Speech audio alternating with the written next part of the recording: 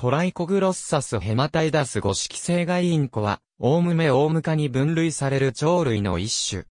分類は議論の余地があり、しばしば複数の種に分けられる、オーストラリア、インドネシア東部、パプアニューギニア、ニューカレドニア、ソロモン諸島、バヌアツ。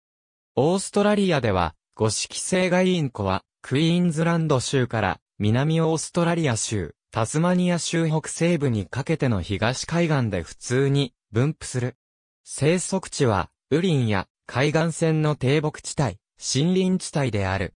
また、西オーストラリア州のパース、ニュージーランドのオークランド、香港に輸入された。体長25から30センチメートル。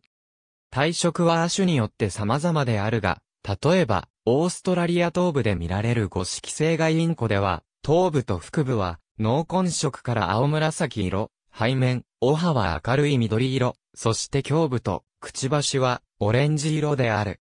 餌は、花の蜜や花粉であり、蜜や花粉を食べるのに適した舌を持っている。五色性外インコは、多くの亜種があり、下にリストされた一般名称のほとんどは飼育鳥類でのみ使われる。上記分類群のいくつかでは別種として考えられることがある。特に、 Red-collared Lorikeet、 Flores Lorikeet、 Marigold Lorikeet、 T. capistratus、T フレーバテクタス及び T フォルティスが含まれる、 Scarlet-breasted Lorikeet は、通常別種とされる。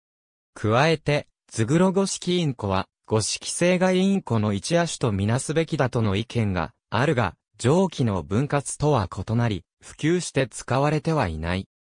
Department of Agri WA、Declared Pests、hat Rainbow Lorikeet Pest hat、BirdLife Species Factsheet、Field Guide to Australian Birds、Steve Parish Publishing、2004。ありがとうございます。